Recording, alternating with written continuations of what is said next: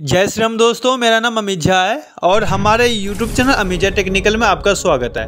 दोस्तों, आज हम बताने जा रहे हैं D M R C travel app से आपने टिकट बुक किया है।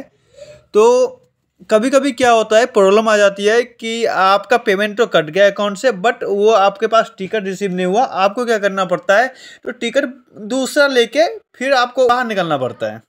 तो जो आपने जो पेमेंट किया था, वो तो पेमेंट फंस गया। वो पेमेंट रिफंड कैसे आएगा, कैसे क्या करना है, याद रखिएगा। उसके लिए रिफंड लाने के लिए आपको सबसे पहले अगर हमारे चैनल पे आए तो घबराना नहीं है। और न्यू है तो चैनल को सब्सक्राइब कर लीजिए और फीडबैक ज़रूर देना यूट्यूब कमेंट में अगर आपका पैसा कट गया है, ये प्रॉब्लम किस किस के साथ आया है, और कमेंट करना ज़रूर बता देना एक बार हमें।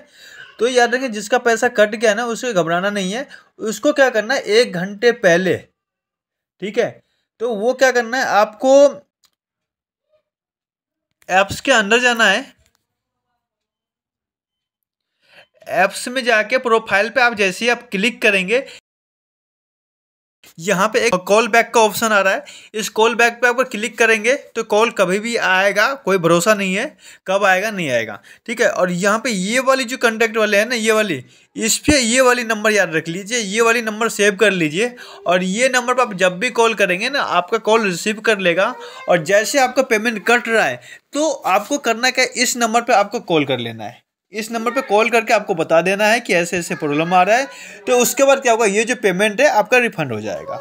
अगर आपने टिकट बुक भी कर लिया है, ठीक है, वो टिकट आपने यूज़ नहीं किया है तो फिर भी आप वैसे यूज़ अगर नहीं किया है तो आप कस्टमर केयर को कॉल करके आप बता देंगे ना, हमने यूज़ नहीं किया है तो उसका भी पेमेंट आपके पास रिफंड आ जाएगा।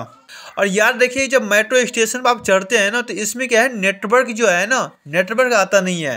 तो नेटवर्क की वजह से पेमेंट आपका कट जाता है और टिकट रिसीव नहीं हो पाता है। तो इसीलिए जब मेट्रो स्टेशन पर आप चढ़ेंगे ना मेट्रो से बाहर ही आप टिकट बुक कर लीजिए, अगर करना है तो। पहले कर लीजिए और उसके बाद अंदर रहिए।